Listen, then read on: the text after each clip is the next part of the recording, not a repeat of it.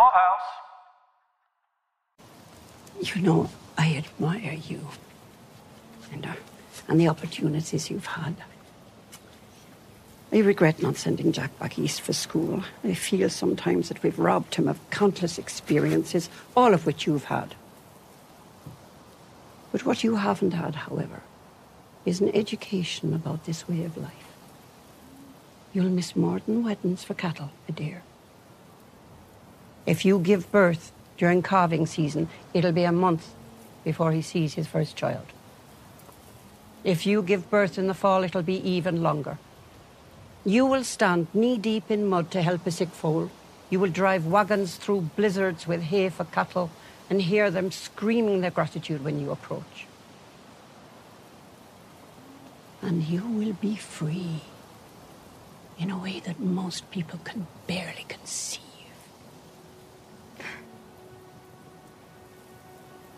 Now, if this is not the life you want, you must tell the boy now. Because you have to want more than the boy. You have to want the life too. Because in this life, there's no debating which is more important, the wedding or the cattle. It's always the cattle.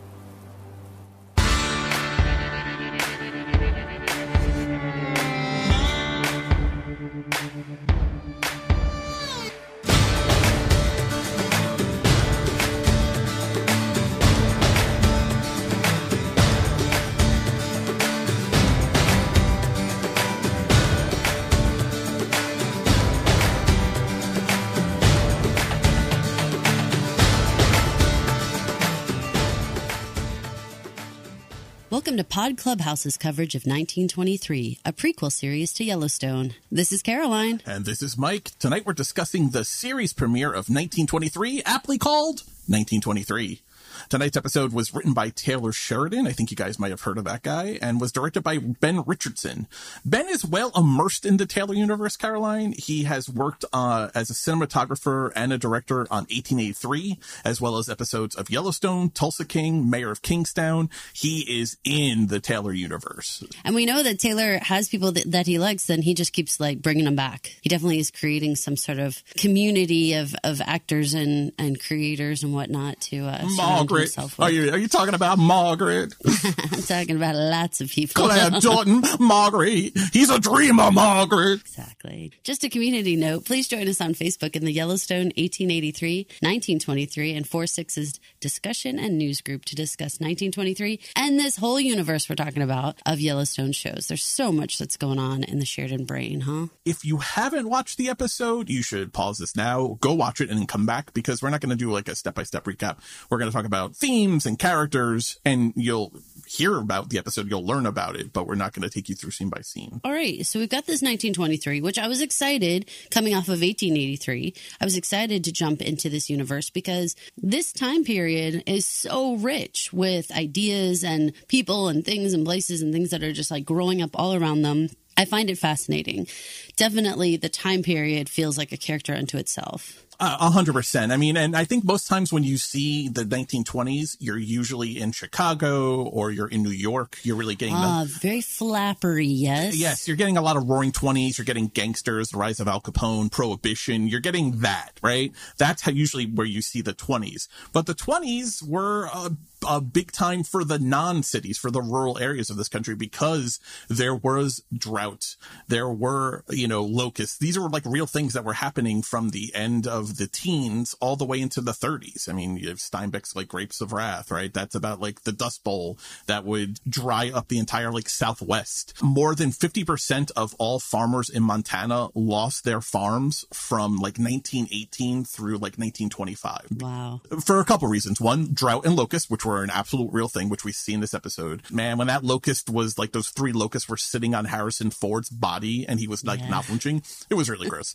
Um, but the the market for beef prices and sheep pricing and, and and livestock collapsed because you had all of this product, all of these animals, and World War One ending, the high demand dried up, and so prices collapsed. And so it was a rough time to be a rancher and be a farmer in America at this time period. So I like that we're getting this view of the Roaring Twenties and not just flappers. When they were sitting around talking about what to do next, there was the the uh, sentiment that there has been no easy years. So when we say like these were rough times, like it was always rough times, is what I think that Sheridan would want us to know, right? Here's a little fact just to hit on it. So a drought hit um, Montana in 1917. Locust came in 1918. Between 1921 and 1925, half of the farmers in Montana lost their farms of the 82,000 immigrants who came to Montana to homestead in the late 1800s with the Homestead Act that they passed, where they started giving out land, 70,000 had left before 1925. That's so, wild. You know, November 1918, World War One ends. The military no longer needs Montana wheat for the war effort. The cattle prices collapse as the nation's markets were flooded with wheat, grain, produce, and, and livestock. Farmers who had gone into debt to support the war effort now cannot make their bank payments. Homesteaders who had prided themselves on their gift and grit and determination and adaptability felt helpless against the What would happen would hold against the wind, sun, locust, and disease. As one deeply disappointed homesteader named William Alexander wrote in his diary, quote, people are just walking around to save on funeral expenses. Yikes, that's harsh. Yeah, that's from the University of Montana. Well, I'll put the link to the article. There's a great article about this time period from uh, from the University of Montana. It's worth a read if you really want to immerse yourself in the challenges that these these people were facing, that these Duttons and and everyone around them were facing. Well, and we expanded into not only just the ranchers' history and what they were going through, but also obviously the the Native Americans, the indigenous people, what they were going through, and the changes that were happening to their people. Um, and we got into that in this first episode, which which was a very difficult watch and something that they yeah. had touched upon and talked about. If you have watched Yellowstone, you know there's definitely been discussions about this, but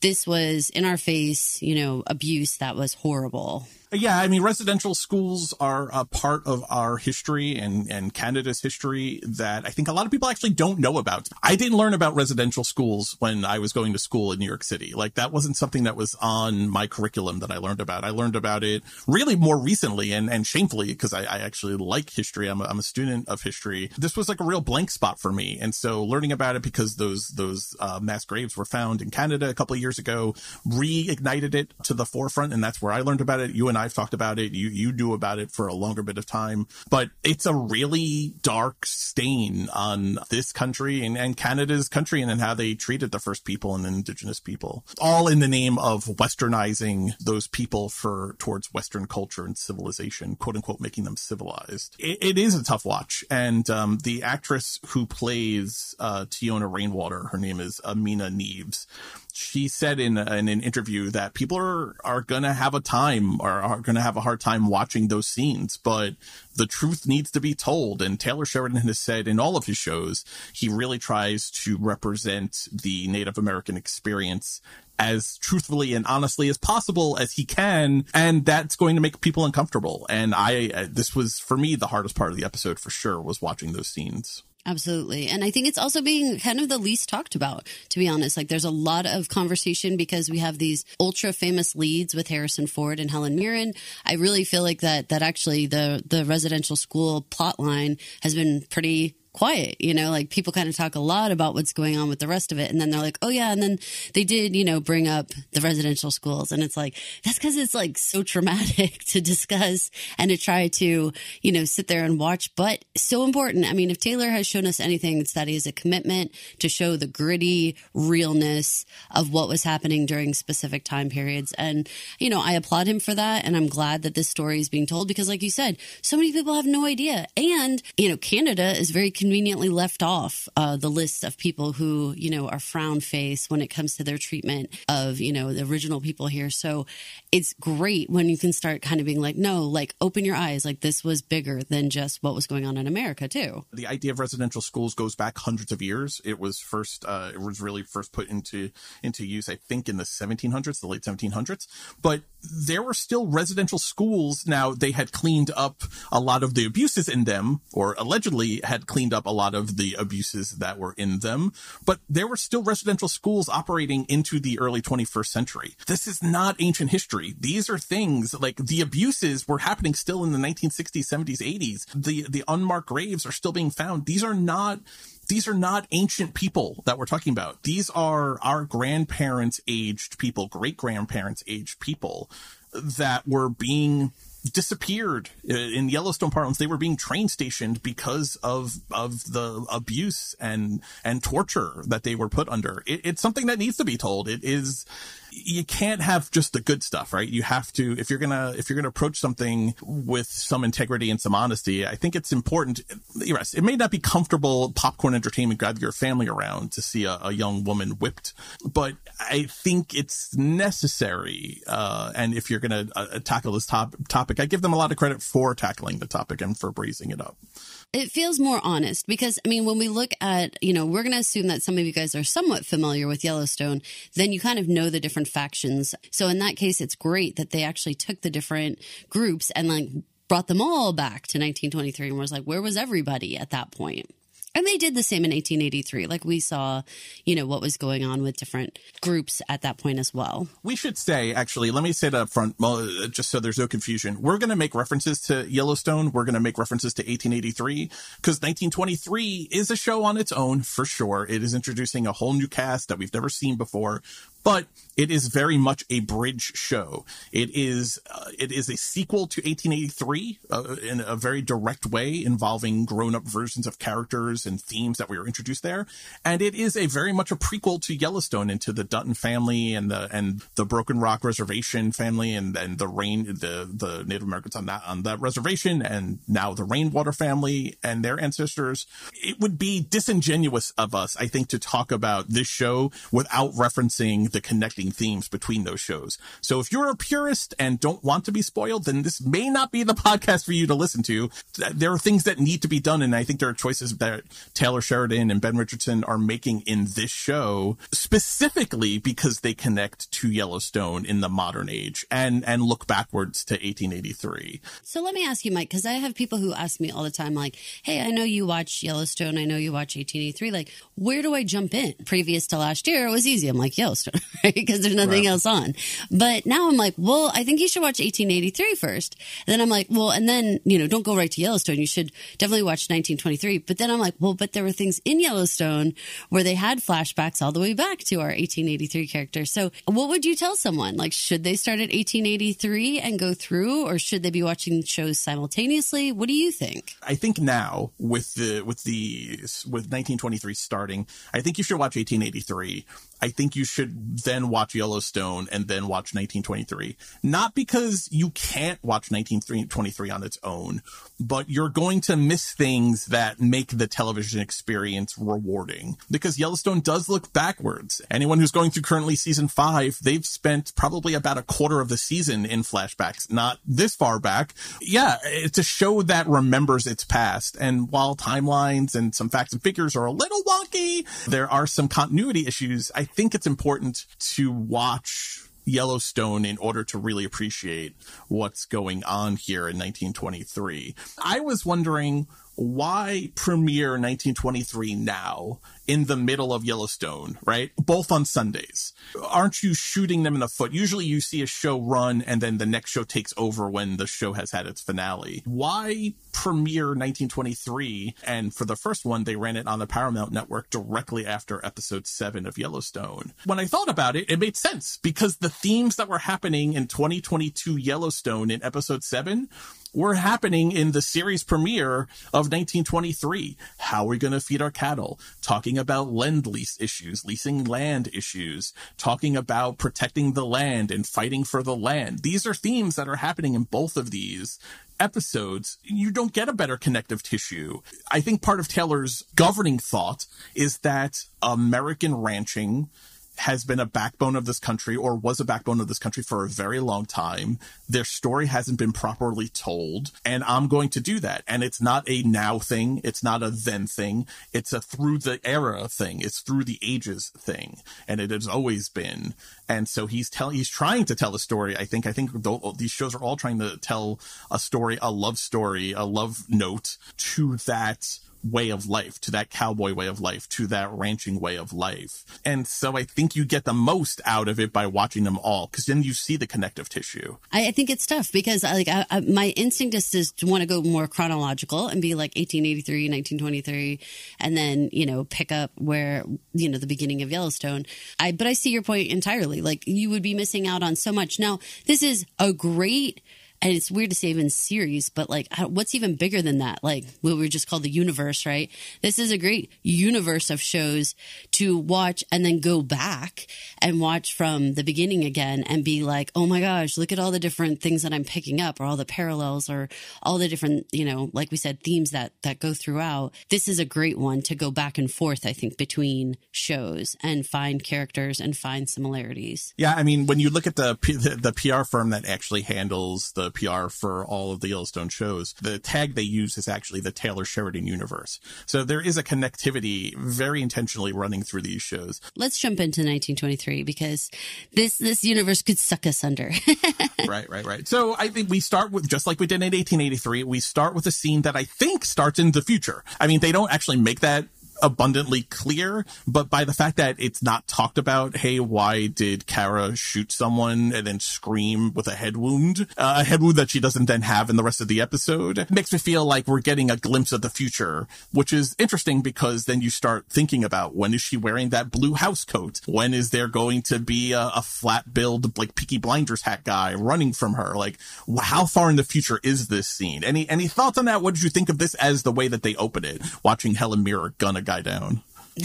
it's cliche probably to say, you know, start off with a bang, but I feel like that's what Taylor loves to do. So, you know, he wants to bring you in this. And I think he needed to establish Helen Mirren as Cara Dutton as, you know, this woman who is tough, strong, and could handle herself. And you needed to know that about her right away because I think when we all looked at the casting, I was like, okay, I don't know that I ever think of Helen Mirren as a pioneer woman. You know, I don't know that I see her as that. I see her as so much more sophisticated and elegant and whatever. And so I feel like you really had to get gritty with her right away, having that blood coming out of her head and everything. You're like, look, this is a different Helen Mirren than you usually see. So like buckle up because she's tough and she's going to get the job done. And I love that about her. I got to tell you, you know this Caroline, but I feel like I, I, I, feel I feel like I would be keeping it from the listeners if I didn't say I have a gigantic crush on Helen Mirren.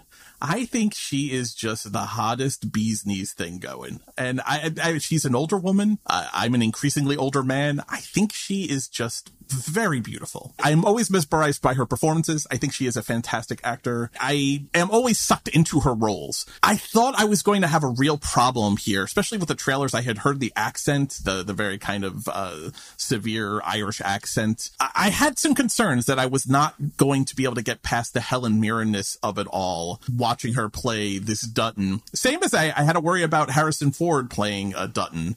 I, I really was worried that were they too big of stars to transcend a character role like they're going to be playing on the show. I think this scene, like you said, I uh, I wholeheartedly agree. You needed to see her animalistically gunning someone down, having a conversation about heaven and hell, and loading the gun, and, and when it dry fires, and then frantically loading it again before he can get his out.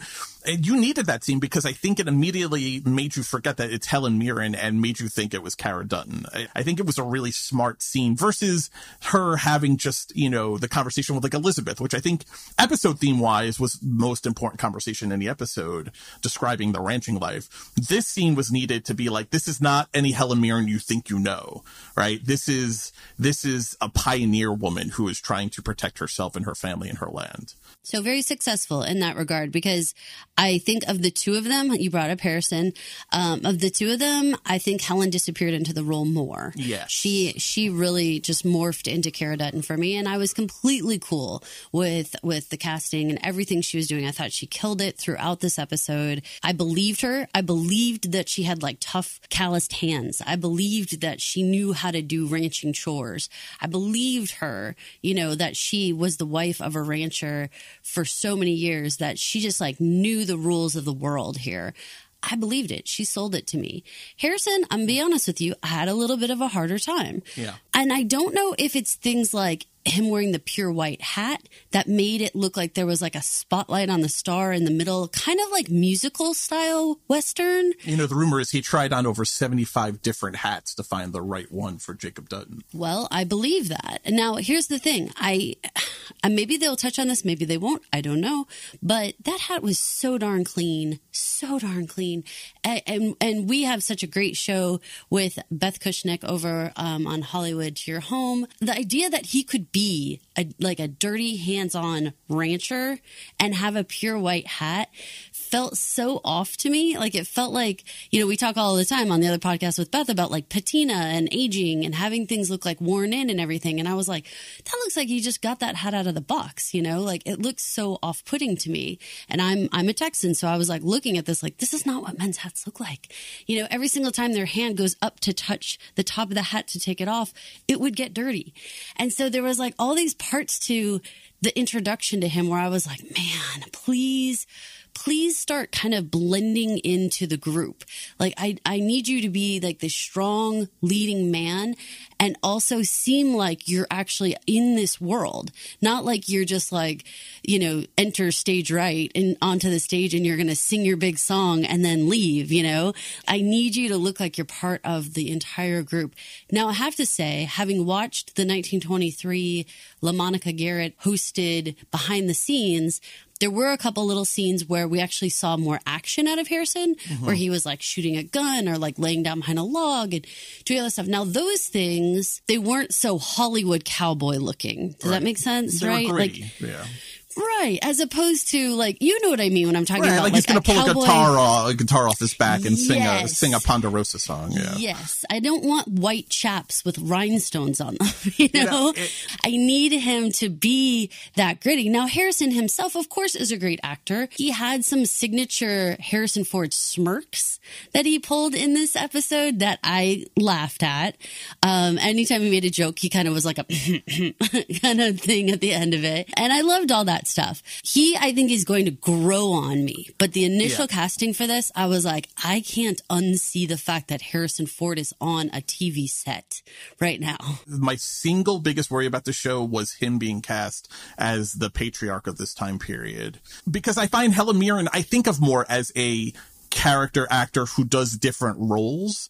Harrison Ford is Han Solo, he is Indiana Jones, and now you're telling me he's a Paramount Network TV star. I think it was a lot more successful than I was worried about. I was more lost in him in the role than I thought I was going to be. And I agree with you. I think he will grow up, grow on me. Harrison Ford has a, has a reputation as being a bit of a grumpy Gus, um, in real life. I, have never met him. I've never interviewed him, but I know his reputation in real life is, is a little cantankerous. And there are scenes in this episode where you get like real, like angry grandpa kind of vibes. But I think it generally worked as a guy who is hardened right? He's been here since 1894. It's now 1923. You know, 29 years he's been here. And I think you can, I think he sells well enough. He's tired. He's tired of never having an easy year in the 29 years he's been here. When you talk about Harrison Ford moments that really like, he could read you like the phone book and you'd be into it. There was this line he has when he's talking to Banner during the, at the end of the livestock uh, uh, meeting. We're all bunched together here fighting for every blade of grass, while you have a whole mountain range to yourself. You have the land, you have the lease, you have everything. I have what my family fought for. You want to fight me for it too? I didn't think so. He doesn't even give him time to answer. He's like, no, I didn't think so. That's a Harrison Ford just about to pull out like a gun or a blaster or a six shooter and like shoot someone. I like that. Those kinds of moments brought me into the role, you know, a bit. I didn't actually notice his hat, but the fact that you're talking about it the way you are is interesting to me because I have noticed in Yellowstone this season. Go take a look at Kayce Dutton's hat. Is that Luke Grimes plays Kayce? Look at the hat he's wearing. Caroline, it is so worn from the weather, it looks like it's about to start punching holes in it. Like just yeah. it's it's evaporating. It is so worn in. Right. and I and I had noticed it and I was like, man, they need to get this guy like a new hat. Like it is it is so worn by the elements. It looks like acid rain has been falling on this hat. Like the leather is like the the the not leather, the um like the lining, the kind of like furish lining on it is like warped away in places. It looks like this guy does nothing but work outside 19 hours a day and and his hat shows it. And I've noticed that about Kayce and I was like, well that fits with his character. So it's interesting when you contrast these two guys, like these are both ranchers, these are both guys who are working outside with their hands. What what does that that ever clean hat mean? Is it just a metaphor that he is so beyond reproach, his soul is so pure it can't even even his white hat can't be besmirched? maybe, perhaps, uh, you know, maybe also to, to be clear, it's not white; it's just super light. It's like light tan, but but for all intents and purposes, you know, maybe they shied away from a darker brown hat because of him playing Indiana Jones and they didn't want it to look Mm. like that. You know, it's possible. Obviously, he's a good guy. Good guys are always going to wear the lighter colored hats and stuff. I think also, I mean, we can see, you know, he's the commissioner, right? There is like these portions of it that maybe he's a little more of a businessman. And so in that case, their hats are not going to look like how you were describing Kayce's, right? Right. Like they're going to look like he goes to an office. I, I, I, you would imagine he actually has two hats, right? He has his ranching hat, You'd I would imagine. so. And like a town hat. Right. And I think even John Dutton, I think even Kevin Costner's character has different hats he wears depending whether it's a formal function like being sworn in and governor. That was a pretty clean hat, that dark hat he was wearing when he took his oath as Oh, yeah, governor. and I'm sure it's a part of the normal it's like the kind of hygiene of it all would be to Yeah. like clean it and take care of it and you know do whatever you need to do to take care of it i like for me like and i don't want to get stuck on this because i don't want i don't want listeners to be like it's not white it's tan and blah blah like i don't yes Right. You're correct. Please don't do that. the point of it was that I didn't want him to come off like a Hollywood cowboy. I wanted him to come off very You- You're not looking for a Roy Rogers or like a like I, a. I'm right. looking for someone rugged and very believable that he lives in this world. Now, you know, one of the things that that stuck out that I applaud the casting is I appreciate that Jacob Dutton and Cara Dutton are roughly the same age and the same era, Mm-hmm. right? Because old Harrison Ford's not known for that. I think that that's wonderful that they didn't make him have like a super young wife or anything like that. She is his contemporary. And you can tell the scene when they're laying in bed together and they're talking and stuff, there is a real like, we're peers, you know, we're partners, we're equals. You don't get that, you know, oh, he's the authority figure and like she has to like listen to everything. Like, no, they, they are like in this together. And that was very heartwarming to me. That really, that was very well sold to me. Wedding's in a week, Jake. Does that mean you won't be there? Hmm, Nobody can be there. The whole valley's pushing cattle. Oh. Well, I'll talk to the girl's mother tomorrow. I don't see what harm two weeks would do. Jack said he'd handle it. Okay, Jacob. It's his wedding. The wedding's for the woman, Jake. If it were for men, we would have spat on our hands and shook on it, and then you would have bent me over the first thing you could find that would hold our weight. Not far from how it happened, honey.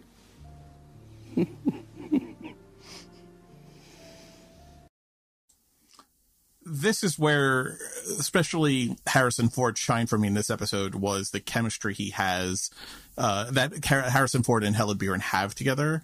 I found their chemistry to be wonderful, believable. This felt like a couple, a couple that has been married for decades.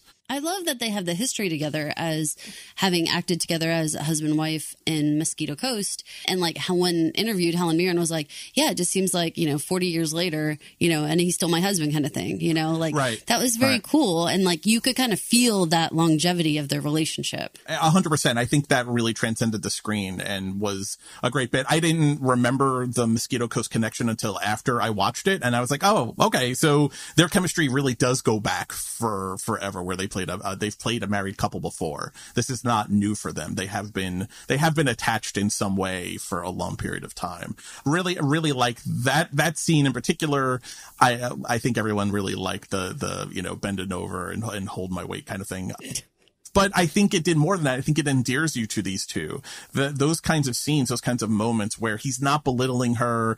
They are being treated like equals. He recognizes that she's a woman who could go out and shoot a guy down in the woods kind of thing. Like there is a mutual respect here. I like that we see her in the scene right before he comes to bed. We see her on the porch counting the heads that are coming back, you know, from the from the long horse trail uh, from Bozeman back to Paradise Valley. You see her counting like their heads, how many are there, are the right number of men coming home to the house, but doesn't wait for them. She's not waiting on the porch. Then she goes inside and she can go to bed and rest. I like that because again, it's part of this like she understands ranchers go out and they're gone for a period of time and then they come home and you can't. There's only so much you can worry about it, right? She tries to explain this to Emma towards the end of the episode. Um, uh, John Dutton Senior, his his wife. You know, she explains like when they say a week, they mean two. You can't you can't sit there. You all you do is we got to run the ranch. We got to do the work while they're gone. We can't wait up. But she is waiting up. But she's not letting them know she's waiting up. Right? Yeah. She, she's waiting for him in bed.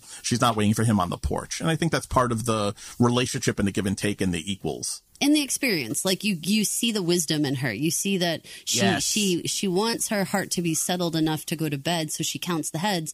But then she's like that's all they need to know. They don't need to know i'm sitting out here. Like i'm not a worry wart. Like i just need to know that much and then my heart is cool and i can go to bed. Um and so she's she's just got that i've lived this a thousand times experience feel. For those nerds out there that like to keep track of such things, uh, Bozeman to Paradise Valley, Montana is 28 miles. If you were to walk it, it would take you about 11 hours. So horseback riding it, it's probably less than 11 hours, but probably, uh, not quick, not nearly as fast as a car. Uh, or it's interesting that it's daylight when they're having the, you know, livestock commission meeting in Bozeman.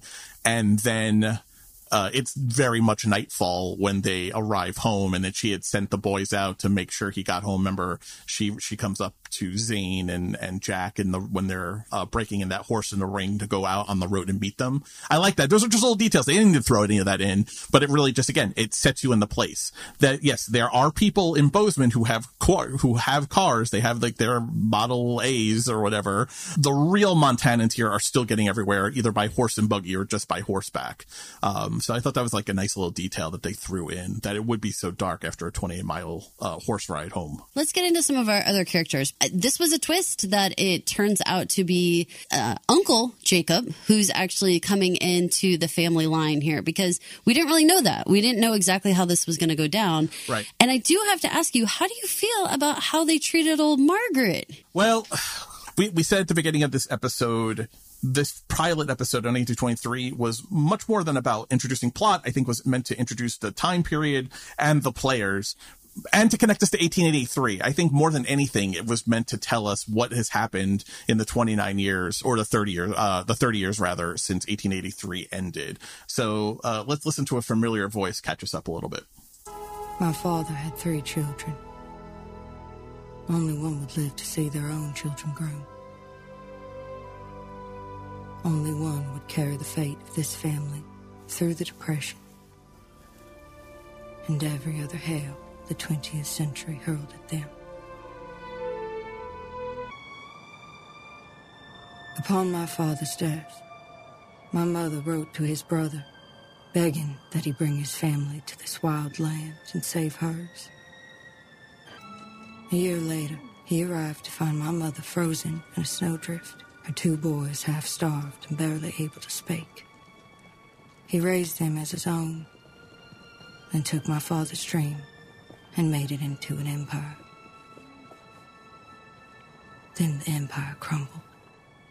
So that's a lot of information in a short amount of time. There is catch up information about how did we get here. And then there's future prognosticating info that we don't understand quite how it will play out in the future. Isabel May returning, Isabel May in the credits, which makes me think that she is going to be an ongoing narrator. She played Elsa Dutton in 1883. She, uh, spoilers, she dies at the end of 1883. She is the first grave of, of, uh, the Yellowstone Ranch. Well, see, to that point, I don't really appreciate the fact that she was the narrator for this because there are far too many people out there who always have to have a little bit of like this, yeah, but. And the yeah, but is people don't want Elsa to have been di- to have been killed, right? To have died. Mm-hmm. So when you make her the narrator of the next show, you unfortunately fuel some fire of those conspiracy theorist people who are like, no, no, she didn't really die. See, she's like, she's telling the story. See, and you're like, oh, no. I don't think any rational person really thinks that. One,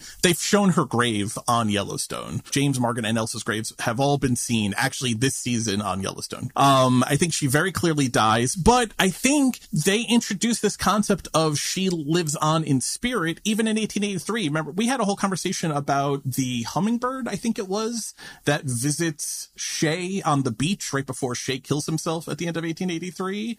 And, and you- Spoilers. spoilers. I said earlier, I said earlier, You don't, did. don't We- listen. we We're going to talk about 1883 because you have to. And if I sit here and go spoiler alert, it's going to make this a five hour podcast. Um. But there was this whole, we had this whole conversation, you and I, you should guys should go back and listen to our 1883 podcast. We don't do the main show. Sheila and Steph handle main, main feed Yellowstone, but Caroline and I have taken over the, the origin story shows. We had this conversation about uh, the idea that her spirit was still flitting around because she had made a promise to visit Shea on the beach or, or that she would be with him on the beach in some way when he reconnected to, uh, when he got to the beach, which was his wife's, which was a promise he had made to his, uh, then dead wife. And Desperate Housewives, Desperate Housewives in the 90s introduced this concept of the beyond the grave narrator looking down on friends and family and saying what they've been doing, uh, since. Now that was kind of like a murder mystery, uh, the way they set it up. right. And this is a little different because you have the person live and then dead, Right. But isn't but that a- continuing to be the narrator. But isn't that a Yellowstone theme? The idea of our ancestors are with us. The amount of times that the people who came before are mentioned in, in Yellowstone is increasingly present in the show. It, it, it was always there. The, one of the very first shots in the first episode is a panning camera shot through the graveyard, through the cemetery at the ranch. Uh, the show from the get go has always been about those who came before are, are part of who we are today. I think a lot of people are going to have interesting feelings about whether or not Elsa was the right person to bring her back. One, I think practically Paramount loved Isabel May.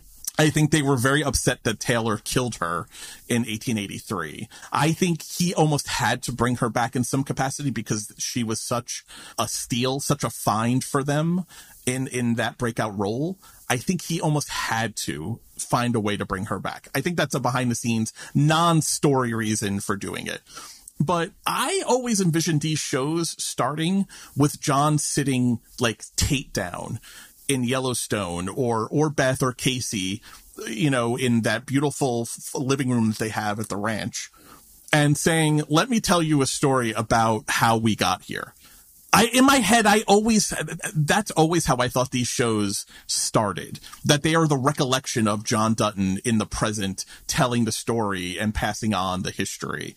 So Isabel May coming back and and Elsa narrating is that version of that. Let me tell you what happened to this family. I know the story. Now I'm going to show it to you. So from that point of view, it's in line with how I see the story as time is just a river. These are all just one large story at different parts on the same river.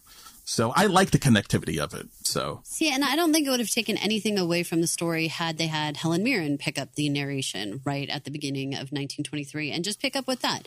Because what you just said is John would be the Yellowstone narrator. Why John? Why not Elsa? Because that wouldn't make any sense and we would feel weird. And so I feel a little like Elsa should have stayed in her time. She was a great character and she was, she, uh, Isabel May is a great actress, but at the same time, I think the story baton needed to be passed. And I think it's confusing to have dead characters be the narrators. especially I if you haven't watched there's no 1883. if you haven't watched 1883, especially who is this woman? Who is this voice? I don't Who recognize is that this voice. woman? I Yeah, don't recognize this voice in the show. And there's going to be people who are hooked into 1923 because of Harrison Ford and Helen Mirren. The idea that, like, oh, well, I didn't watch 1883, I just picked up with 1923, I could see that happening. For me, especially because Helen later does narration, I don't know that that needed to be the way. It was an interesting creative choice. It certainly did bridge the bridge that, you know, from the 1883 family to the 1923 family. But again, I'm going to stop you. What did you think about Margaret getting three words? Margaret's frozen, dead in the snowdrift. That's it. That's where Faith Hill's character just peters out. a, a little, a little disrespectful to the memory of it. I would have liked to have seen her being more part of building the Yellowstone dream, but but 1883, Montana, Yellowstone, Paradise Valley, that was never Margaret's dream. That was always her husband James's dream. It was his idea. It was his plan to bring them there.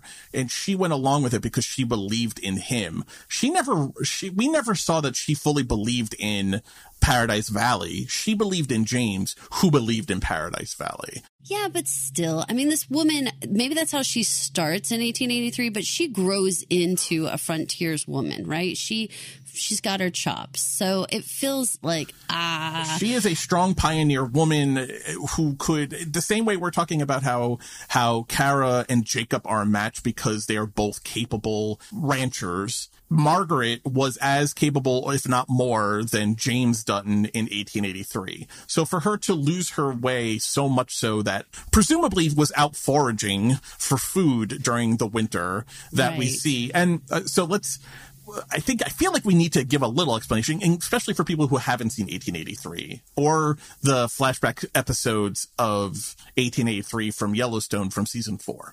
There is a flashback in Yellowstone season four where it's 1893 10 years at 10 years following 1883 james uh, tim mcgraw is a sheriff and livestock commissioner guy in montana a, a fledgling yellowstone compound. It's just a little cabin at that point. In the midst of hunting some poachers some horse thieves down gets shot he makes his way back to the little Yellowstone ranch cabin. Margaret opens the door. Faith Hill's character, Margaret, opens the door. The door, she brings him inside. He, he's trying to downplay how bad it is, but we hear the door closes. We're still outside and we hear her emit a blood curdling scream. In that same episode, before all of that, we saw Margaret at dinner with a, now a 15 year old John Dutton and a little boy or a younger boy named Spencer.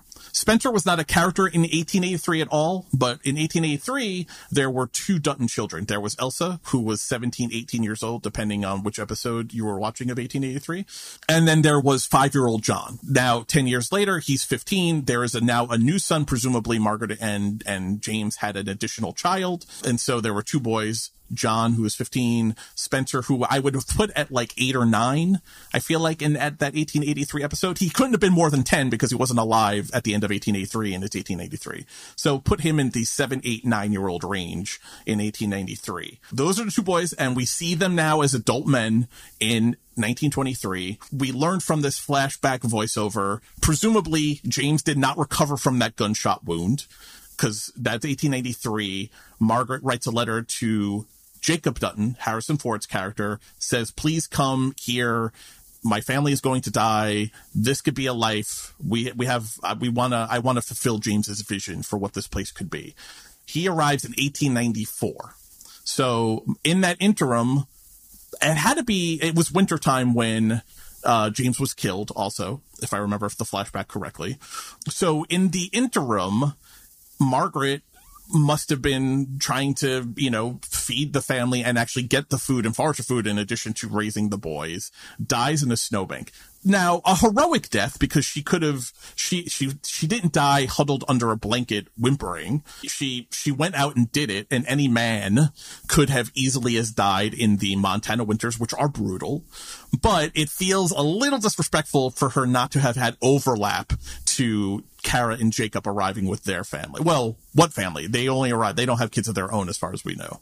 Um, as far as we've been told, anyway. There's only Cara and Jacob. So Cara and Jacob arrived. I would have liked to have known that Margaret was still alive, not dead like a popsicle in the snowbank. I agree with you. I think it's a little disrespectful to the kind of badass pioneer woman uh, that they established in 1883. It was just such little fanfare, and I know that that's part of this entire point of the story is that you know humans are fragile. They come and go on this show. You know, people die. That's and it's a hard it. life. It's, uh, people- it's a very hard life. But man, I the second they just said that one line, Margaret was frozen in the snowdrift. I was like, that one was done dirty, man. Like that that wasn't a heroic death. That was just went out with a whimper, man. Like oof, that just hurt. It hurt me. Uh, I know we're jumping a little bit all over the place here, but let's talk family tree wise. Uh, let's because I think this is where a lot of people are invested in the story. They're invested in the where does 1923 take place in the in the in the Yellowstone overall larger Yellowstone story. Where are we in the family tree?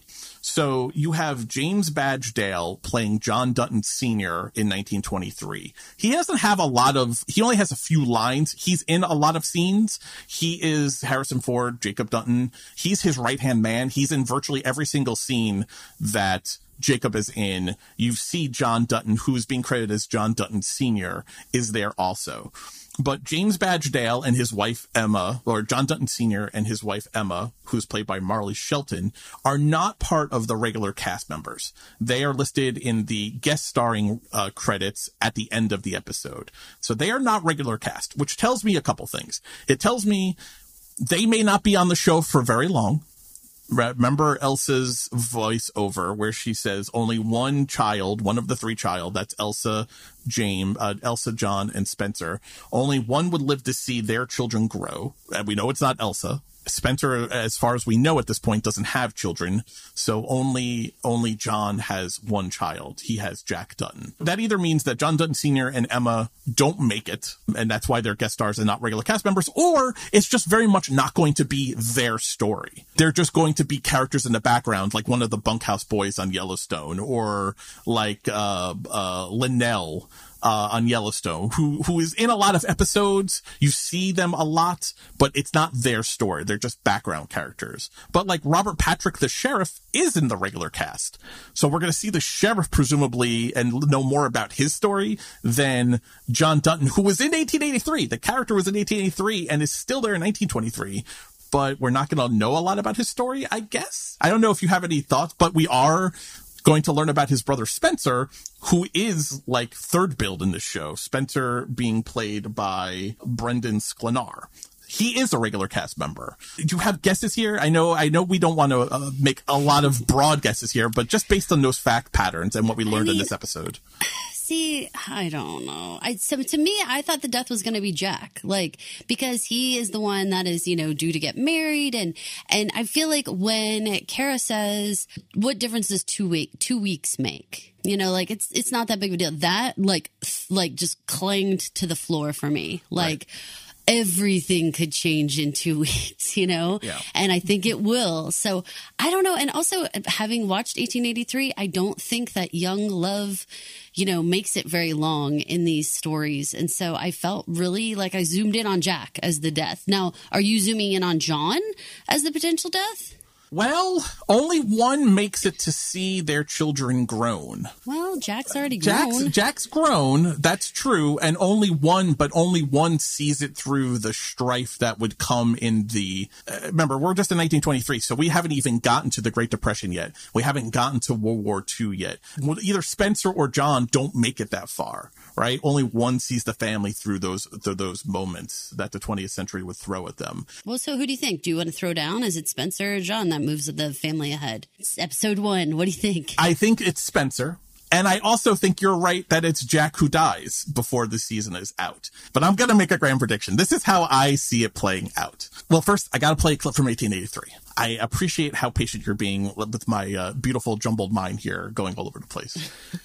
this is from uh, this is from the season finale or series finale of 1883. Let's take a listen. I know a place for you. You go through that pass and you follow the river south. I used to hunt that valley as a boy. And the winters are cruel. But the summers are rich, and a man who plans can thrive. And you look like a man who plans. What's the valley called? I don't know the word in your language, but it's uh, when you die, you uh, you go there. Heaven. No, there's another word. It's not it. Paradise. Yes. Paradise. Yeah. Good name. But you know this that in seven generations, my people will rise up and take it back from you. In seven generations, you can have it. Someday, my family might seek to hunt that valley. And if they do, you remember me. hmm? And you let them. Your family can hunt today or get there and every day after. Eh, Good. So I played all that because of the seventh generation aspect of it. You and I spent a lot of time with this. We were doing the math in 1883, Caroline, that it worked out that Tate made sense as seventh generation and Tate being half, uh, Native American and half Dutton made sense thematically that he would be the one to unite the ranch back to the land, right? This idea that the land will revert to the, well, in Yellowstone is the Broken Rock Reservation people, which is a confederation of, of different tribes. For the se- for Tate to be the seventh generation, Jack has to be the one who is the line progenitor. Here's the math. One is Tim McGraw, James Dutton. Two is John Dutton, who's a little boy in 1883 and is uh 40 years old, 45 years old. 1883. It's been 40 years since he, he was five. So yeah, he's 45 years old. Is the one played by James Badge Dale. He's two. Three is Jack Dutton, who's played by Darren Mann. Four is Dabney Coleman, John Dutton, who we only got to know in Yellowstone as a very old man. He is the father of Kevin Costner, John Dutton. So you have, I lost my count. So you have James one, John two, played by James Badge Dale. Three is Jack Dutton in this show. Four is Dabney Coleman, uh, John Dutton. Kevin Costner is John Dutton is five. His son Kayce is sixth generation. Kayce's son Tate is the seventh generation. But I agree with you. The show does not like young love. It does not like its characters living to ripe old ages. I don't see Jack making it out. So I think the show plants foreshadowing in a conversation between Jacob and Elizabeth Stratford's father, Bob. Elizabeth, Stratford is played by Michelle Randolph. She's the one who's supposed to marry Jack Dutton. There is a conversation they have while they're watching their kids in the distance hug and kiss and spin that don't check the math too quickly when that first baby comes because you may not like the answer. I think Jack is going to die. I think Elizabeth is already pregnant. I think she's going to give birth to Dabney Coleman, John Dutton. And I think Spencer will become the de facto father of that young John Dutton in the same way Jacob Dutton, Harrison Ford, became the de facto father for John and Spencer Dutton. I think all of that makes quite a bit of sense with the amount of overall Taylor universe, um, the adoption of like a young fatherless boy. Uh, that is a theme that we won't delve into because we don't want to spoil things for you guys, but absolutely carries across all these shows. Yes. The the idea of you don't have to be the biological father to raise to raise a man. That family is blood is important, but it's also kind of also how you choose it and how you put it together. And and they're introducing the theme here of Jacob having raised a 15 year old John into manhood uh, for the last 29 years, serving as his father, and an even younger Spencer, who we said couldn't have been more than 10, so was probably in the 7, 8, 9 range, probably has very few memories of Tim McGraw, James Dutton as his father, and probably really only knows Jacob Dutton, Harrison Ford as his father. The idea that it would be Spencer to carry forward not having his own child, but raising his nephew very much in the Taylor Sheridan ethos the way he has set up these shows across all of the shows. You and I talked way back in 1883 that we thought it would be Spencer who would name his son John. This was our prediction back in 1883. Spencer would have a child, name him John in honor of his, at that point, then deceased brother. And that would be how you get to John Dutton. That the John Dutton being named John Dutton was too easy.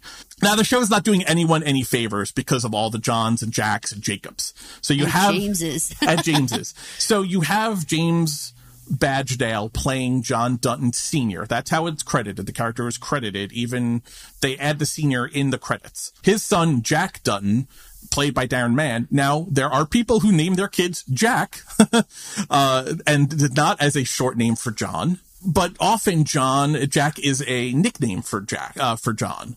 So is Jack Dutton actually John Dutton Jr.?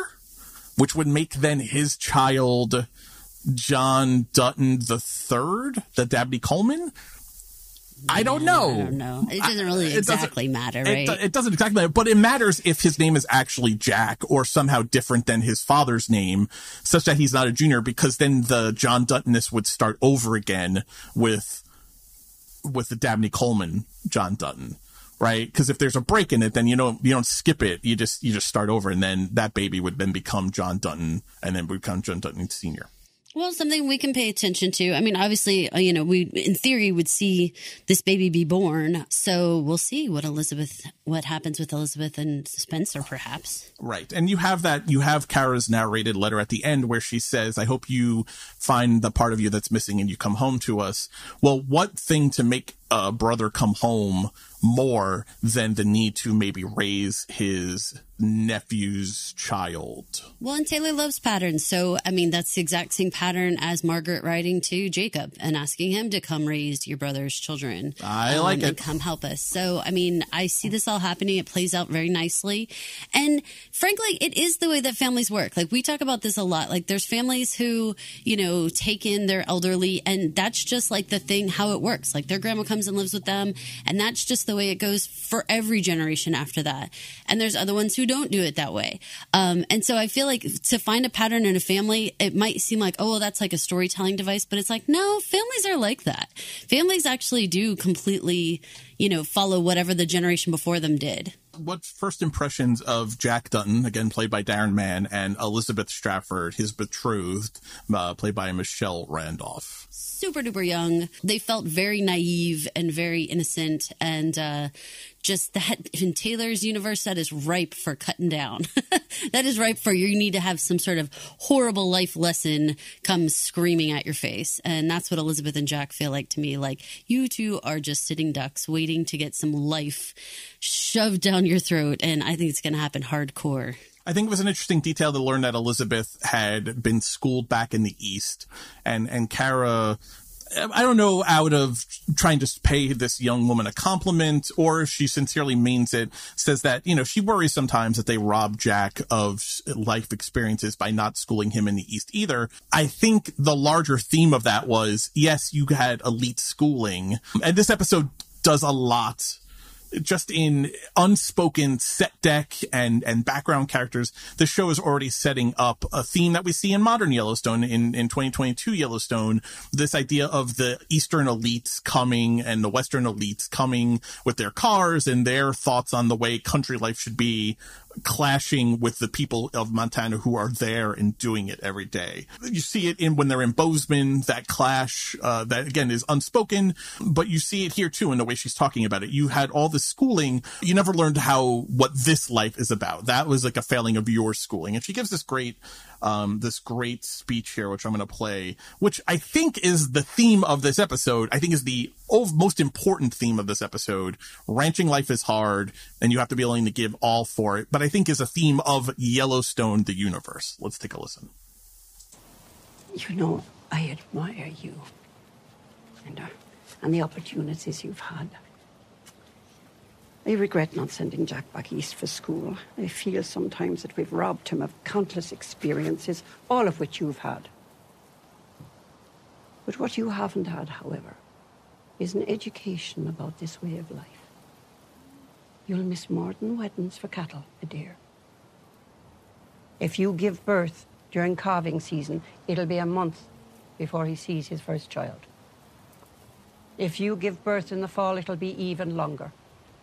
You will stand knee deep in mud to help a sick foal. You will drive wagons through blizzards with hay for cattle and hear them screaming their gratitude when you approach. And you will be free in a way that most people can barely conceive.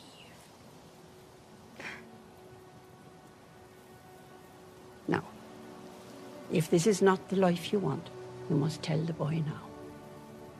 Because you have to want more than the boy. You have to want the life too. Because in this life, there's no debating which is more important, the wedding or the cattle. It's always the cattle. What's more important, your life or the cattle's life? It's always the cattle. And I feel it's that way, you know, as a daughter of a of an entrepreneur. I feel like it's like if you own your own business, that's the story every time. Like it doesn't matter what's going on with the family. It doesn't matter what's going on. Like the business needs to be taken care of, especially if you have something like cattle, like live animals. You can't just put up the closed sign and walk away for a week, you know, like that's just not the way it works. And so I appreciated this is one of those things that have been complimented about shows like Bob's Burgers or or other programs where or even like Succession where it's like business doesn't stop. Like you don't get to just like deal with your family. Like you have to deal with the business in conjunction with your family events. And guess what? The business is your livelihood. So it's always got to come first. I appreciated this entire thing. And I was quite surprised actually that Elizabeth's mother wouldn't have had that conversation with her. Like maybe Elizabeth went off to school in the East and so she didn't live ranch life exactly, but she came home. She was going to marry a rancher no conversations had been happening. Like she's shocked that you know that like their their family businesses come first. That seemed a little off to me. Right. And they they say that a couple of times in the episode. You know, Jacob says it to Cara when they're in bed. You know, she's the daughter of a rancher. It shouldn't be that much of a surprise. And Jack says it when he's before he's actually had the conversation with Elizabeth. He says it, you know, she's the daughter of a rancher. She under she she has to understand, even if she doesn't understand yet, she's gonna learn to understand that this is this comes first. You know, I love, love the bravado of a man who actually hasn't had a complicated uh discussion with uh, his woman yet. There's nothing like that bravado, that naive bravado. Um, and then you find yourself being told to go marry a cow and have a honeymoon on a mountain top. So that was pretty, that was pretty risque. Yeah, very risque. I mean, she had just shown some ankle at the time. I mean, I, oof, grab my pearls and my smelling salts. That was not the time. She was not giving up any ankle for that. She was pissed, man. No way. I mean, going back to the immature and the naive thing. I mean, I, I gotta tell you, I found this character a little bit annoying. I, I, I because because he's so cocky to the point of it's the kind of cockiness that gets you killed. And in this brutal life, that kind of personality gets you killed because you think your shit doesn't stink well, that's when someone shoots you, or that's when a bull gores you, or that's when you find yourself in a position that you can't smirk and, and smile your way out of, right? It's the difference between, like you were saying earlier, it's the difference between a Hollywood cowboy and a real been there, done that cowboy. And I think Jack is still has that summer, that summer dew on him. You know, if, if Game of Thrones parlance, he's a sweet boy of summer. He hasn't had the hard life that Jacob has lived, that even that his father had to live through. Watch, imagine being John, his father, knowing that you had watched your mother be dead in a snowbank and on the verge of starvation yourself. This Jack has n- not experienced those things because of the hard work that's come before him he's he's got some growing up to do himself, and and Elizabeth even more so. For sure. I mean, it very much feels like when you have Jacob and then John and then Jack. I mean, Jack feels well covered, like under their wings, and but just sheltered he's got this goofiness to him that is very accurate to a young man that age and and to being in young love and all that kind of stuff. Even when Elizabeth jumped off that carriage and she like kind of she just fell on her knees and everything, I was like, damn, that is like something that only a young kid could do. yeah. I'm like thinking if I did that, I would just like roll over onto my back and be like, oh. oh, even how they meet each other and oh, twirl oh, around. Like, I never want to argue with you again. I never want to. That is, that's young love. And it's Mike, so. Could you imagine falling off of a, like jumping off of a carriage onto your knees? It now takes me 15 minutes to get up out of bed to pee in the morning. I no. know, same. So I'm like, I feel like, oh my gosh, this is young, rubbery. Your your fontanelle hasn't closed, love kind of feeling. Which I mean, I listen. I'm a grizzled old 45 year old man, uh, almost 45, 45. Oh God, I'll be 45 in six weeks. You know, and uh, you know, and I just want these kids to get off my lawn. You know, that's all I see when I see it. Like my heart is just dead and cold, and I just want them to get off my into lawn. that concept of like, get off my lawn because that is something actually in discussing this show. I was talking with my dad. Now, my dad is in real estate. He's in land development. There was a moment in this episode when they're like, no one can own the grass. The mountains own the grass. And as a land developer's daughter, my heart's like, what are you talking about? Man can own the grass. we can own the land. Like, what are you talking about? And so there was like a whole, like, I know this is a theme that again stretches across all of the different series that Taylor does of like, can you actually own nature? Can you, can you, stake a claim to something that is growing and has a life of its own and i and i think that there will never be a right answer it feels a little chicken and the egg it feels like you know on one hand i think yes people can own it but on the other hand i think you have to have respect for it you can't i mean you can't contain it which is different than can you own it, right?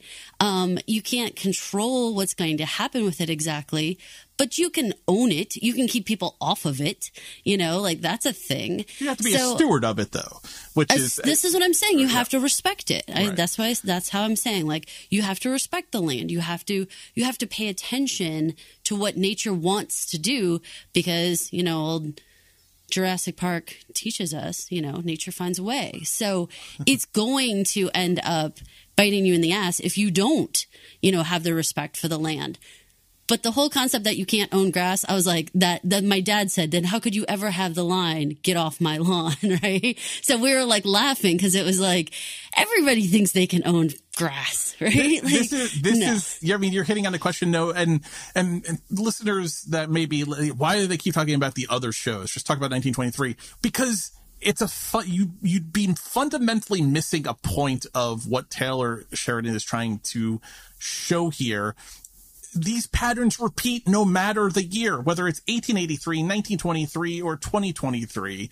It's the same fucking conversations. And in Yellowstone in 2022, about to become 2023, they're talking about still owning the land and what you can't own the land. Summer, the, the Summer Higgins character played by Piper Perabo, her whole thing is as a, as a, environmental radical terrorist is, you know, you, you, you can't own this land. It's, it's shameful that you have so much land. That's no different than what Banner is saying. Banner is saying in this episode. And it's interesting that this is a theme of Yellowstone, and I bring it up because it is a repeating pattern and it is an ongoing discussion. I want to take you in the Wayback Machine, Caroline, and listen to this clip from Taylor Sheridan himself in character in 1883. Come across any barbed wire yet? Never heard of it. It's twisted steel wire with little barbs woven into it, sharp as a knife's tip. It is the one fence cattle will not push through. They're going to carve this country into little rectangles and fence them off. And just like that, two of our great pleasures are gone. that is what happened in this country. We did, and barbed wire is ever present. It is ever present in Yellowstone and in 1923. We see it in this episode. We see Banner having his men cut the barbed wire to run his sheep into the meadow ground, the, the mountain ground where John, where Jacob and, and those ranchers are going to start pushing their cattle. Barbed wire. How many scenes in Yellowstone have we watched over the years of people having to go fix barbed wire? Barbed wire is present and, and this is 1883 being predicted. But we know that someone has to own the land. So I think you're right. I think it and ultimately comes down more to who's a steward of the land and how you're a steward of the land versus the actual concept of owning the land. See, and I would argue that being protective of not eating the grass down to the roots. Mm-hmm. I was just going to bring that up. Could continue to grow and be respectful of like cycling out plots of land and moving your your cattle or, or your sheep to different areas. I think that is extremely respectful. And I think that that is not actually in any way saying, I own the land, I'll do whatever I want with it, and then going and like, you know, throwing a big bonfire on it or something. It's like, no, I don't want the vegetation to be killed permanently. So this is why we handle our land the way we do. Now, I don't know how you deal with that with sheep, frankly. I don't know how you don't constantly have your land be completely ruined if that's what you're raising. So this is a tough call. I don't know what those sheep herders are supposed to do. I mean, there should be a plan, right? or you got to take right. them elsewhere. Well, I think I think I think the plan gets upended. The the whole apple cart gets upended when there is drought and locusts. A thousand percent, and obviously, like we said, like the entire market collapsed, you know, on what they thought they were doing and what the plan was and what was actually going to happen. Right. There should have been probably enough grass had a drought not come and killed it and make it inedible for, for these things. But I mean, yeah, for sure. Sheep, I mean, sheep seem to be like an invasive species the way, you know, Jacob talks about them in this episode. But let's listen, let's, let's drill down a little bit more on stealing grass. Stealing a man's grass is like stealing his steers. You graze another man's lease again, and I'll have your whole flock, and I'm a man of my word. Stealing grass. Man doesn't own the grass. The mountains own the grass. God owns the grass. And you're no God, Jacob Dutton! You're no God! And if you didn't think I didn't uh, carve this out as an ongoing audio clip, you're insane. You're no god, Jacob Dutton! You're no god!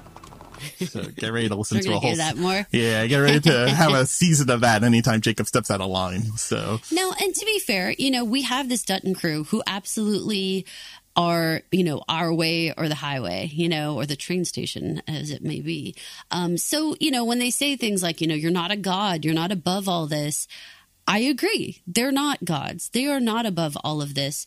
And they certainly have set themselves above all of this. However, going back to just the nuts and bolts of grazing animals, you know the the sheep owners didn't have a plan to where all the animals could be okay. They were like only looking out for their sheep. And when you know jacob jacob explains you're essentially killing the cattle just it's just taking longer. It's just going to be slow death because they won't have anything to eat. So not only are your sheep going to die once you eat to the roots but now you're killing everyone else's property as well all of their livestock. So like what's your actual solution sheep people? Because this isn't it. You're just killing everyone everywhere with what you're doing. And and taking more down with you is the main thing. Like you can't just continue to take out other farms because your farming plan isn't working out. Like that's not fair either. Well, let's let's switch over to Spencer. So World War One ends in 1918.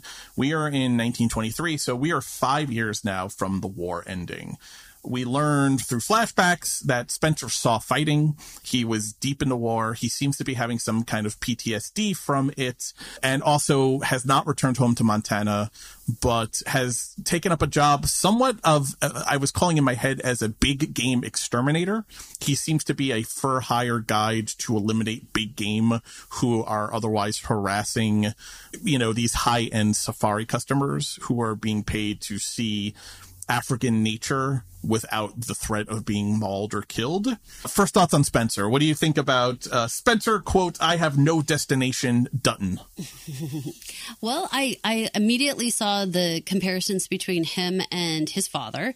You know, with being war veterans and having their PTSD, dream nightmares, and having to still deal with that. He seems incredibly brave, and he seems much more skillful than what we see, like say in like Jack. Jack seems like you know, a very um, young green man, where Spencer seems very experienced. And I think, like, when we just talked about plans, like, he's always got a plan. He is a drifter, but at the same time, like, he's got these, appears to be like contract jobs, right? To come into these different areas and take care of things as needed. So, I mean, he's definitely a thrill seeker. Um, he's the dreamer side, right? He's the one who's just like going to go out there and explore and do whatever he wants. He's definitely not going to be the one to settle down. I liked him as a character.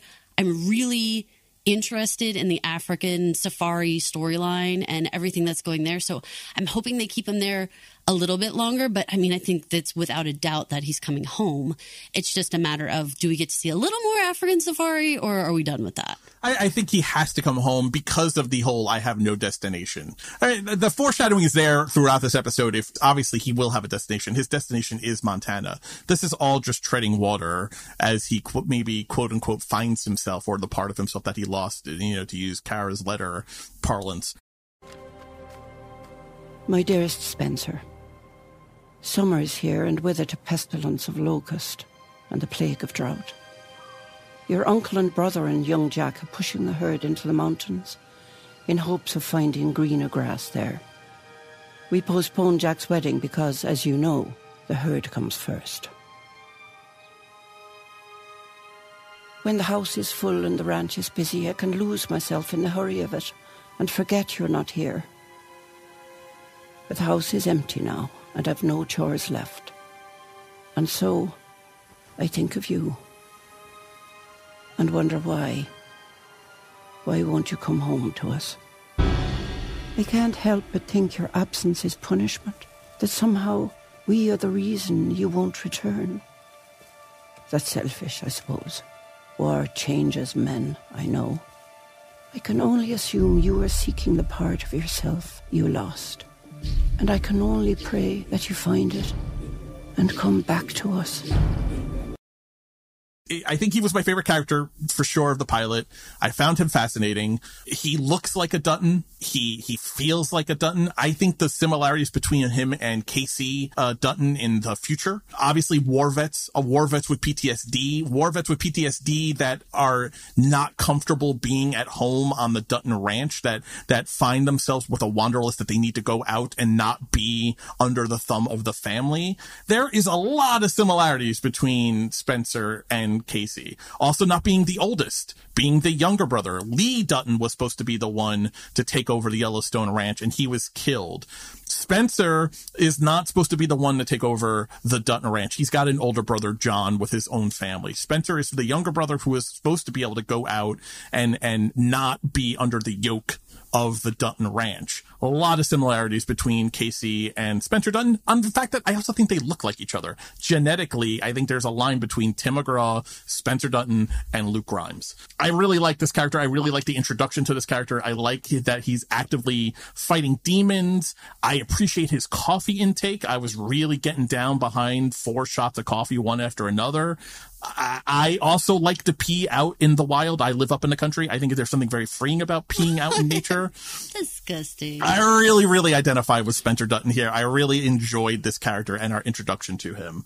And in the same way that Montana and and that whole world is a character unto itself, this African safari world wasn't was a character unto itself, and that's my desire for him to stick around there. And I think why he comes off as fascinating as he does is because the world that he's living in, the setting that he chooses to live his life, is fascinating and and had so much going on. I mean, I was shocked that we had a death, you know, with the leopard and the woman, and crazy that that leopard killed the woman. I did not had her up that. in a fucking tree. Yeah, didn't just kill her in the bush.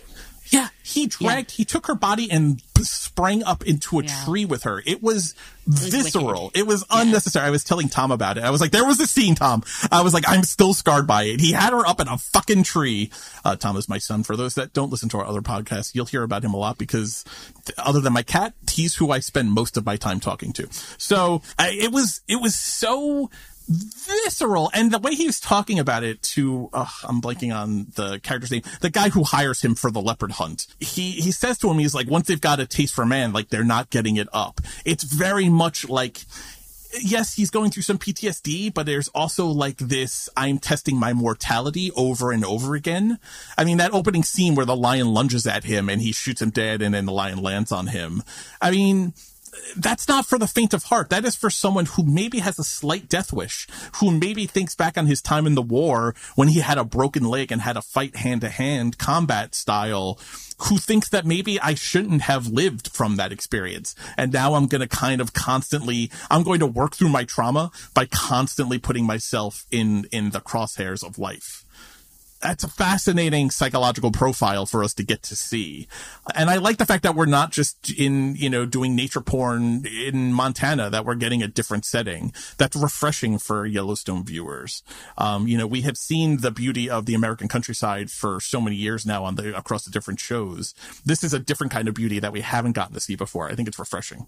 So we touched on the residential schools and Teonna Rainwater. Um, I think there are a couple of interesting things here one one thing to understand about these that we didn't talk about before was that these were often run by Christian missionaries that were contracted by the federal government to run them. This is not just like a private Catholic school being set up to to quote unquote civilize these Native Americans. These were actual sanctioned institutions run by Christian missionaries uh, to indoctrinate these people. I think that's a huge thing because it, when you have the government sanctioning this behavior, it makes it even more egregious. And when, and what Teonna goes through here and the conversation she has with her friend Booksby, I believe her name is the character's name, um, in bed, uh, at nighttime when, you know, the friend's so funny, she, funny in an ironic way says, you know, you've got to heal up your legs. How will a husband ever, you know, how will a man ever look at you to become a husband? Teonna's just thinking about trying to survive and, and introducing this idea of all those who have come through the school, our family and friends that said they would write us and never have. How do we know they're even alive? That's terrifying. Imagine, imagine going to bed at night and not wondering if your family and friends who used to go to school with you were killed the second they left as a legitimate fear because you have no proof that they're still alive after you've been tortured for an entire day. I think that that's something that we have heard in stories where there's like actively war. I think that that's a story you've heard in World War II. And we can understand those stories of people getting snatched in the night and things happening and, you know, the, the poor treatment of everyone, the horrible treatment, the torture. It's completely feels foreign to be in Canada or or Montana, you know, that that's happening. That's the part I think that gets to be unnerving. It's not unusual to hear a story where people are wondering if their relatives lived or died. That's a story you and I have seen before. But in America, in, you know, with this group of people, this is like, okay, tell us more. Explain to us what happened. How did this happen? What was the structure? Who were the entities involved? And like you said, it's current day conversation. Like people are still trying to uncover and figure out what went on at these residential schools. That is remarkable that we still don't have full answers to this story even now. Uh, we still don't have answers. There's a fascinating aspect here, and, and, we've talked a bit about owning the land and and and Spencer talking about how it's kind of man versus beast, and beast has a taste for man. But uh, the whole residential school storyline and Teonna's storyline introduces this idea of subjugating people. Again, this story you don't see often portrayed in television or in movies, but I want to play this clip from Father Renaud in the office. This is before he starts to whip her after he has knuckled uh, Sister Mary. Um, I just want to play this clip. I understand your desire to lash out at a sister who lacks compassion, but you lash out. All will lash out.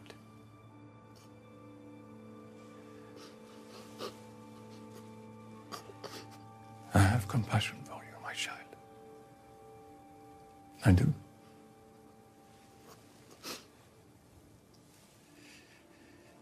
Place your hands on the shelves, please.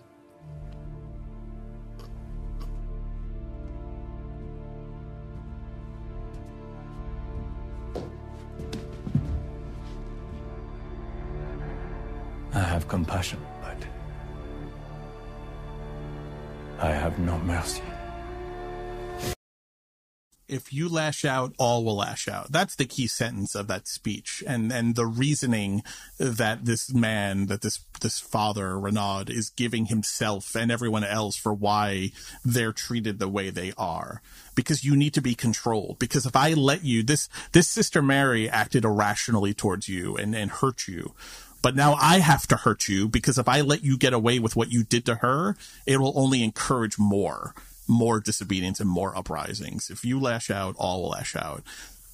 That is terrifying reasoning, right? That that folk think about that. When, before people get upset with this, and this is what is this? This is not entertaining. I don't understand what's going on here. We're talking about the frank subjugating and and controlling of a whole race of people don't convince yourself it's anything else. This is not for Teonna and her family's benefit. This is not for some egalitarian reason or some philanthropic reason or some charitable reason.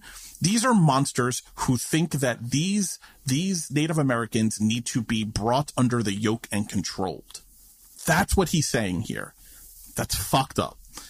It is. It you know, as someone who covered Handmaid's Tale though, it 100% is just the prescribed method for breaking down a group of people and and creating, you know, whatever type of group you're looking for at that point, whatever it is you're wanting them to submit to. This is not the first time that this has been used like this. This is absolutely not the last time historically that this stuff has been used. So we've seen this um, happen in other areas. Again, it's just very unfamiliar to most people in our own country they don't know the history. You know, we weren't, like you said at the beginning, we weren't taught the history of our country like this in school. So it, it's very, it's jarring. I think a lot of people, this could be the first time they're hearing about residential schools and the first time they're understanding how that culture was dismantled.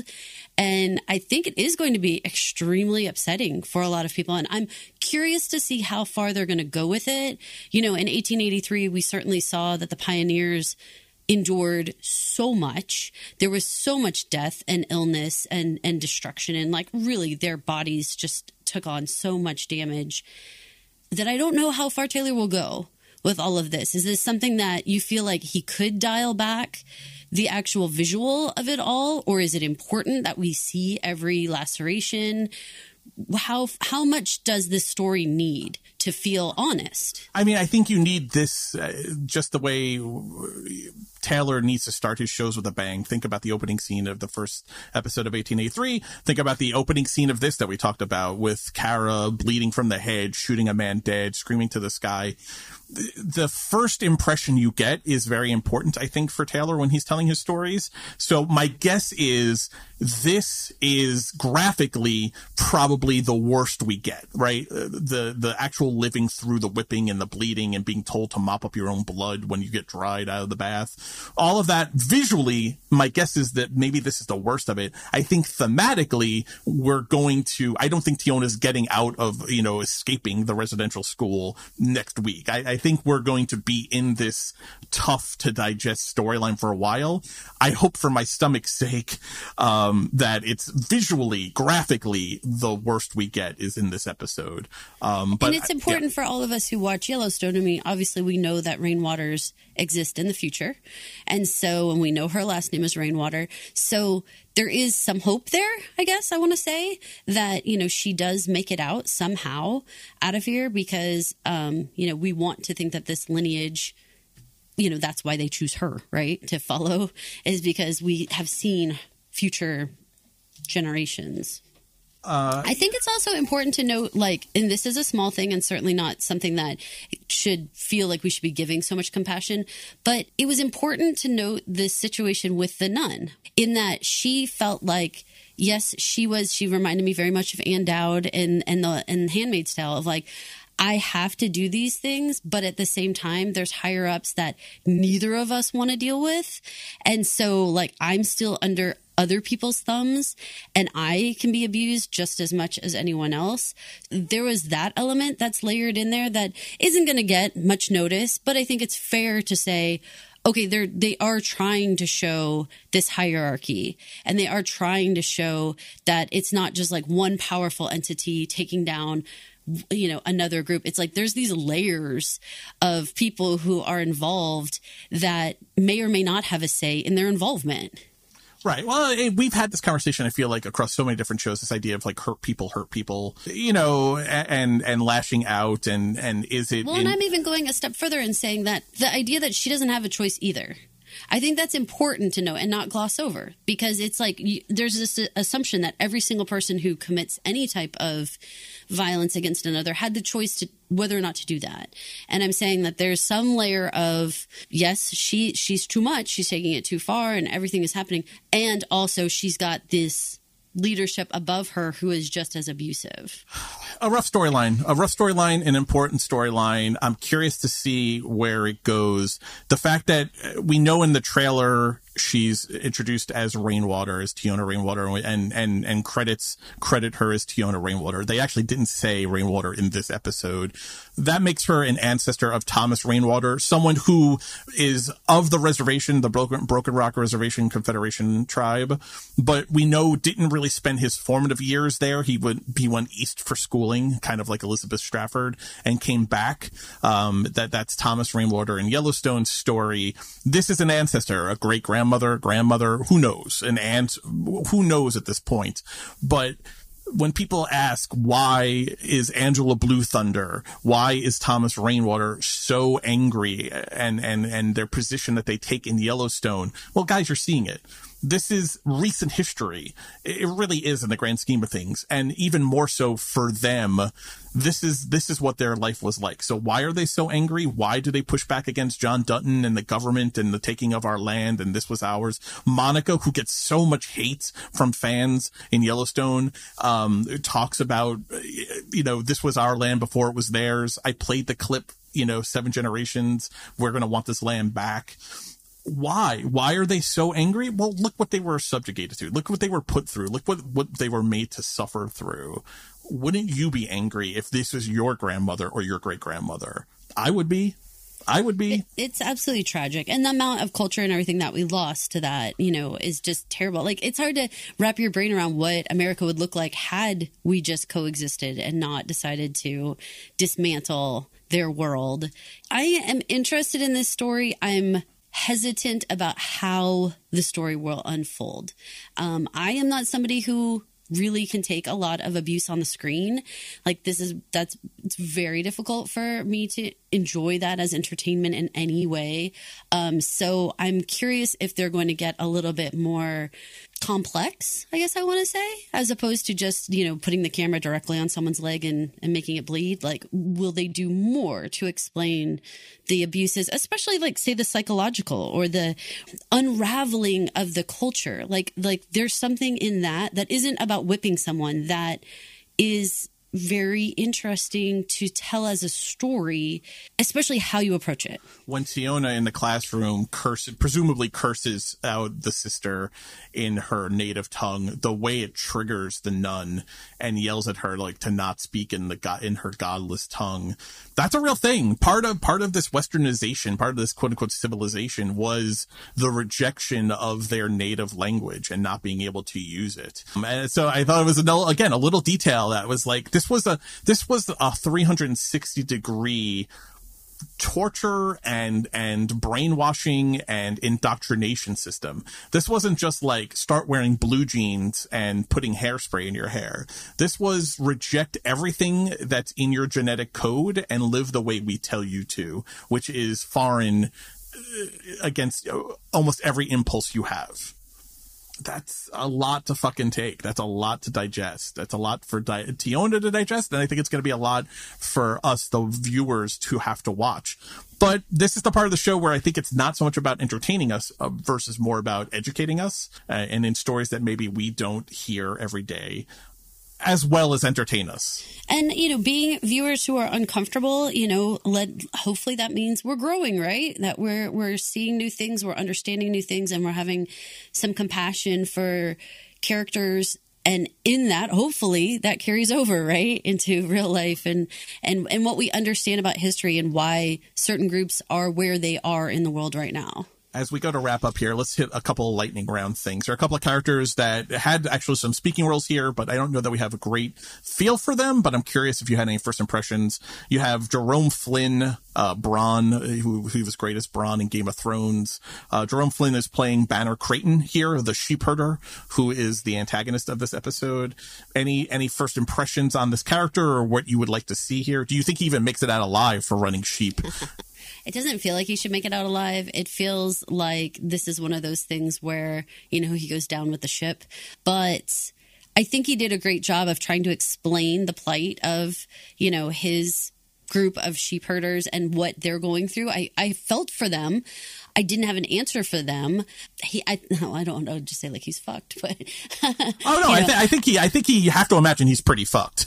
yeah, I mean, there's just no, there's like no good answer for him. There really isn't. You know, I mean, I appreciated the the part where when Jacob says, "Why don't you just sell some of your sheep?" You know, and it was like, "To who?" Like, I mean, it, there was they did a good job through the dialogue of explaining that he had very little options. Everything was going to be like a makeshift. Let's just hope this works kind of thing. But eh, no matter what, they were going to have to go sneak onto some other people's land. They were going to have to.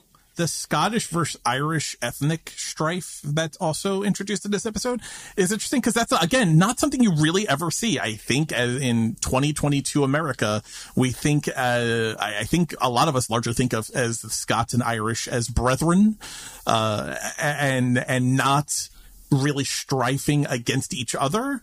It, it, it was an interesting you know, th- this is a sto- this is a story of immigrants. You know, we don't think of the Duttons as an immigrant family, but this show very much uh, uh, listen to the trailers uh, where Elsa narrates the trailers. You know, from the Scottish Highlands to the slums of Dublin. You know, I, I mean, this is a story of immigrants. This is a story of of immigrant Scots but butting up against immigrant Irish in what should feel like limitless land, but in fact has barbed wires dividing the land, and they're running running head into each other. It, it, was it was interesting to me because I don't know how much they're going to emphasize it, but this show or Taylor Sheridan has never been one to really do ethnic strife amongst each other other than Native Americans against the quote unquote white man. It's not true. In 1883, that was the whole thing. Oh, because oh, at the beginning, true. we You're were right. like, You're are these right. immigrants all from the same place? And we were like, wait, they're really not. They're all speaking different languages.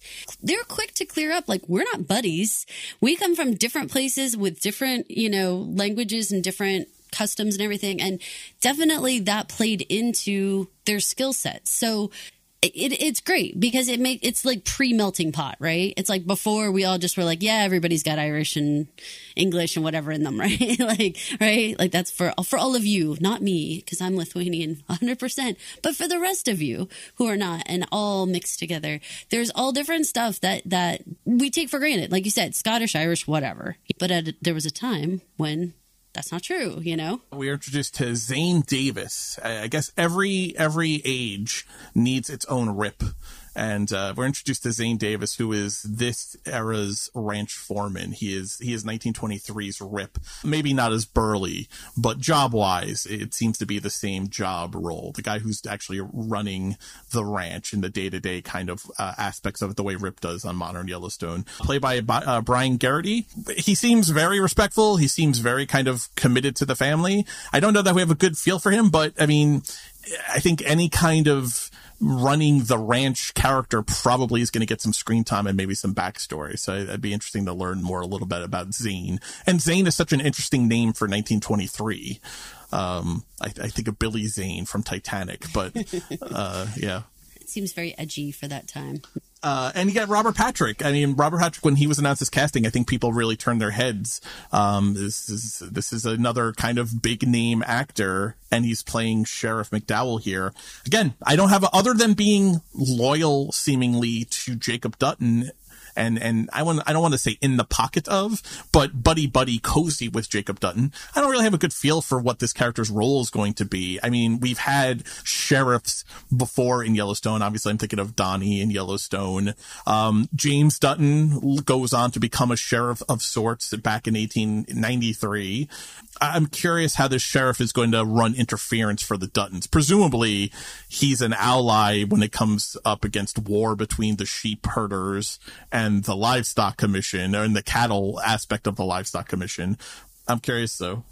Hey, Mike, can I give you a little factoid? Two seconds ago, I said Zane's not a biblical name, but in fact, it is. It is the Hebrew version of guess what name? John. Yep. It's got to be a J name. That's the only ones.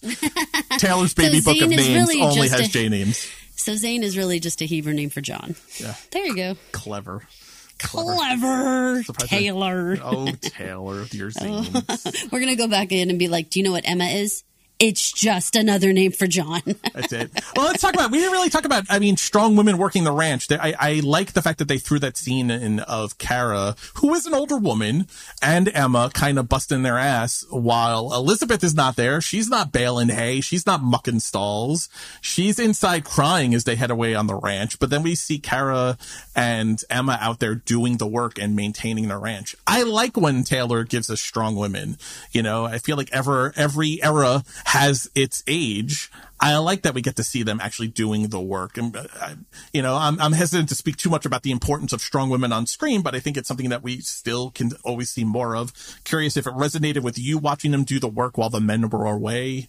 I think it underscores how capable they are and how absolutely uh, knowledgeable and, you know, they have the experience to be able to get the job done too it just speaks to the fact that this this is their way of life. This is not an event that's happening in their life. This is their life. And that for me was was well done in this entire episode. I really believed that these people eat, drink, breathe cattle ranching.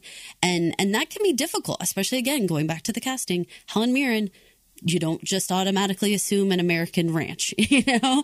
So you have to do a lot to make that look right. And they did it. They did, they were very successful, I thought. I have to get the clip of Helen. I have to isolate the clip of Helen saying, okay, Jacob. I have to get the I clip know, of that. It was so It's- flat and funny. It was I, so I, funny. I dug it. That was such a dry response. Okay, Jacob.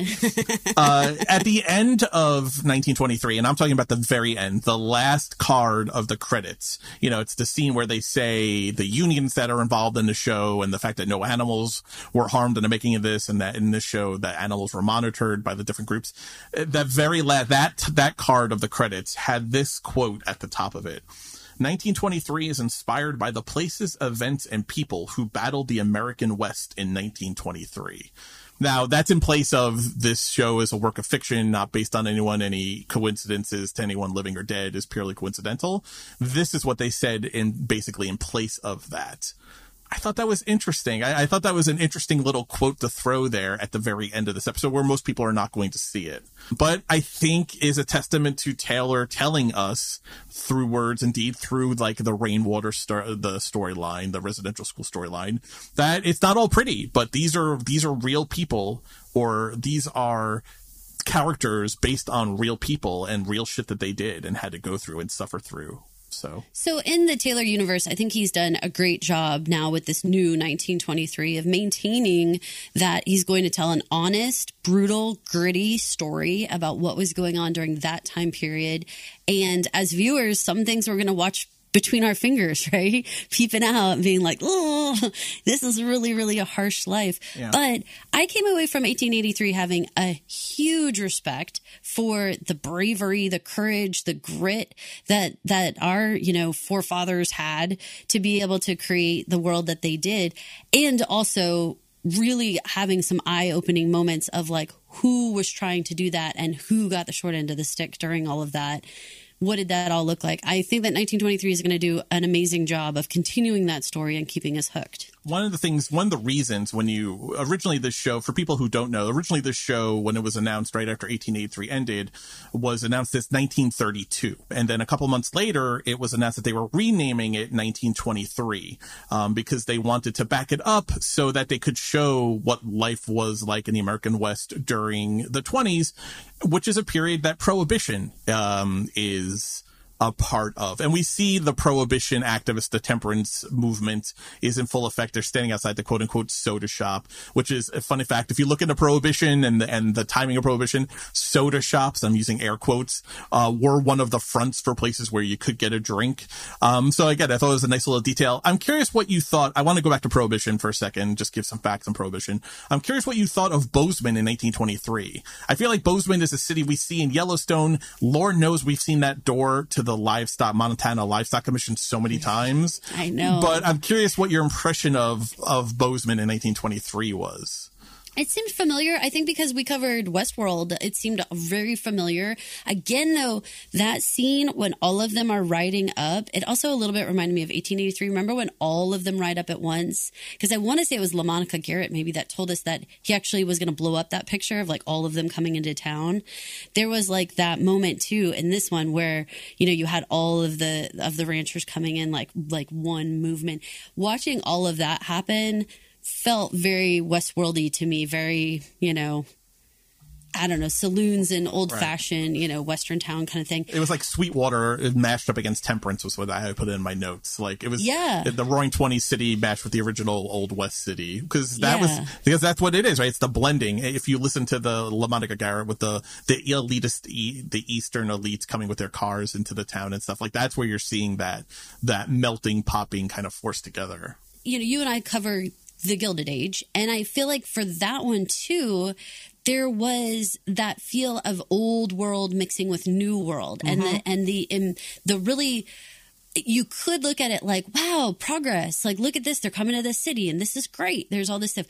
But because in both Gilded Age and in this one, we have so many characters that are on the old school, traditional, I don't want change side of things, it's very like, foreboding you know? It's like yeah there's a car and it's like there's a car you know? Like in a they're gonna wreck everything kind of way. Not in there's a car wow how exciting and innovative. And you know look at this town growing and prospering. It's like no not a car you know? You get that vibe of like nothing good could happen with progress in this town. The rock upon which progress will bash and not advance.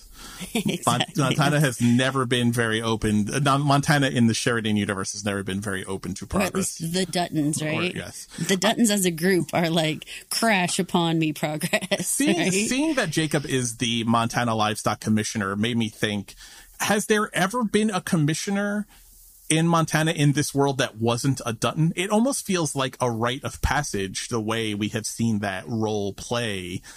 and almost like the Duttons like created it. It feels Right. like in some way, you know, like that they had a hand in actually organizing the structure in which Montana grew and developed, Which is And- and- interesting. yeah, because if you li- remember that scene in 1883 where they come across uh, uh, James Dutton and his uh, sidekicks uh, Shea and Thomas, they they come across livestock commissioners, and remember they were bad guys. They were horse thieves uh, that had stolen some of the group's horses, and and and and just in the brief time that we spent with those livestock commissioners, they were depicted as villains. So it's interesting now contrasting that that the Duttons, the way the Duttons run the Montana Livestock Commission is is heroic in the telling of the story of in which the Duttons are the center of.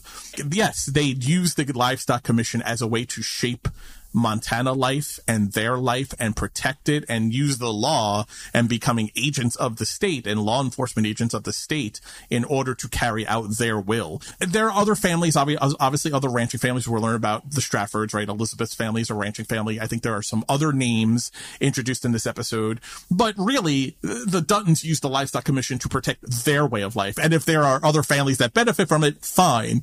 But it's interesting that they have this whole carved out aspect of law enforcement that they really wield for their own purposes. It, it's a fascinating thing because it does call into question the abuse of government for own purposes. And is it is it heroic? I mean, doesn't that make them bad guys? Doesn't that make them villains? This is a question that I think a lot of people ask from time to time in the Yellowstone universe. Are the Duttons actual villains in the story or not? Everybody's got a reason, right? In this entire series, in in the entire universe, like in the Yellowstone episode that played when this one came out, there were things that they were doing that was being frowned upon, but then it was like reasons. And people were like, oh, it's better for the cattle if they do that. Right. If you don't take the time to educate yourself on the way of life, then it's very hard to stand outside and point fingers about who's the villain and who's the whatever. Like, there's absolutely injustice that happens. There's absolutely parts where, having seen 1883, you and I, I think, have a great respect for what they fought for and how difficult it was to get there. We have that backstory. Whereas if you just start watching 1923, you're like, this is no fair. Why did that guy just get to make his own badge? And it's like, go back and watch 1883 and see what he went through to get there, you know? Right. And then maybe you have like a better idea that it wasn't just like someone showed up one day and said, I'm the boss. They, you know, scratched and fought and clawed their way to get there. And then this is what happened for good or for bad. Some people can say, well, that's not admirable. But we watched 1883 and it was a difficult, arduous journey. Right. When Jacob Dutton says to Banner during that meeting, my family fought for what we have and do you want to fight me too? I don't think so. I, I cut this clip, but he actually goes on to say, if you wanted more land, you should at least more land. You know, this idea of the Duttons, right. The Duttons fought, scratched and clawed everything that they have and anyone else could have done the same. The Duttons just happened to do it. They did the work. So why should someone else get to partake in that or get a piece it's of that? It's difficult because then you go over to the residential school and you say, yeah, but you know, and you kind of point, yeah, and you're like, uh. So this is going to be a complex theme that we're Right. going to talk about, and I I know for a fact in at the end of 1923 we will not land on a specific answer that's going to make everyone feel like, yep, that's how I saw it. There's definitely going to be parts to this that we're going to say, well, that was a good decision. That was shitty. That was good. That was shitty. But it's just going to be like a episode by episode. How did this actually play out? And could they have done better?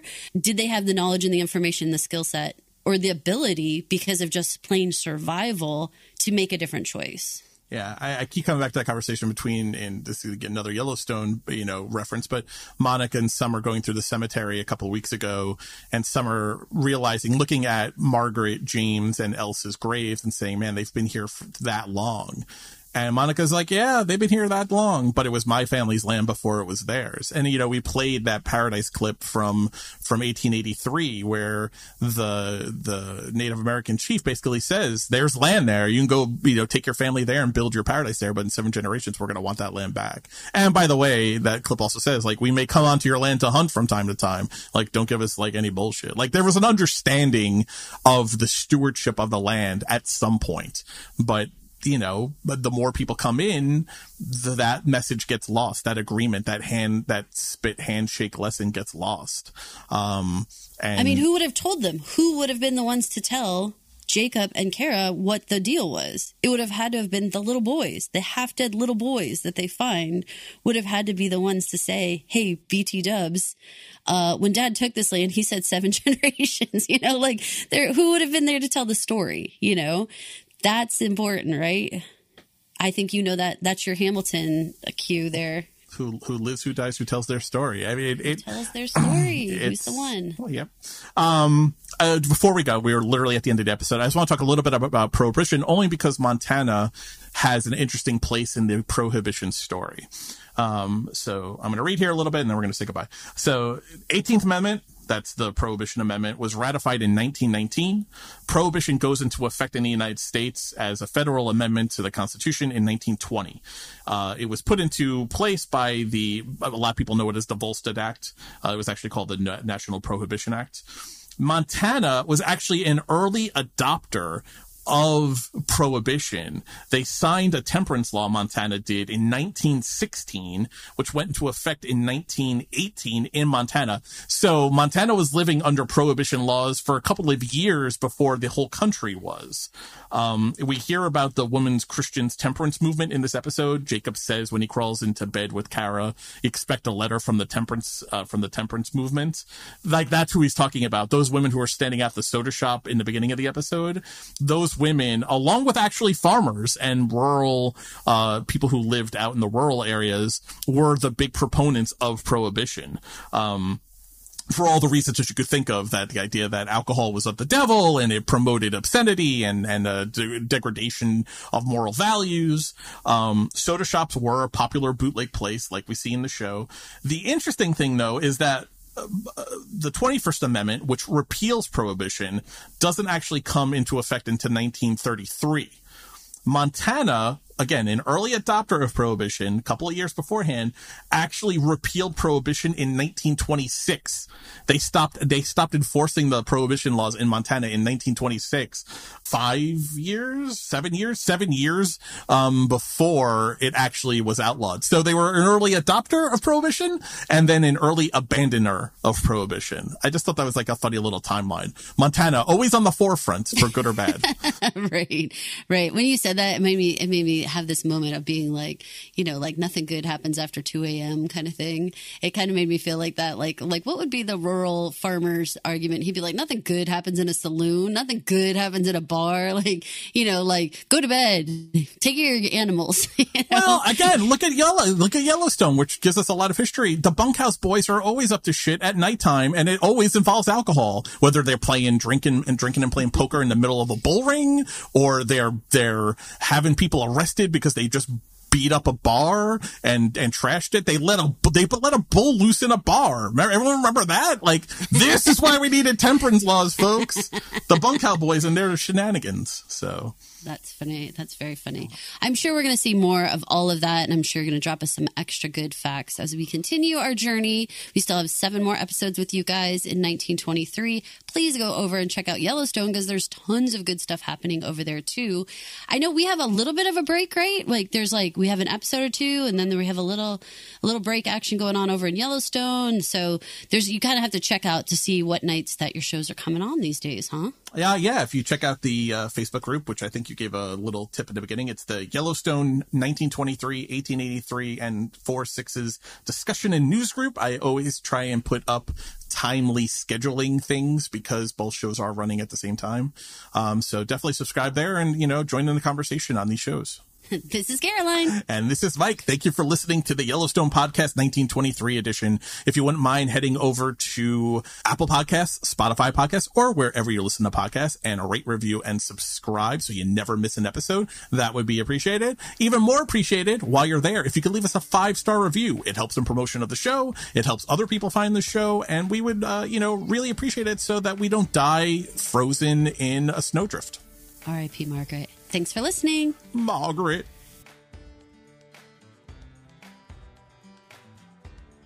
Thank you for listening. This has been an original Pod Clubhouse production.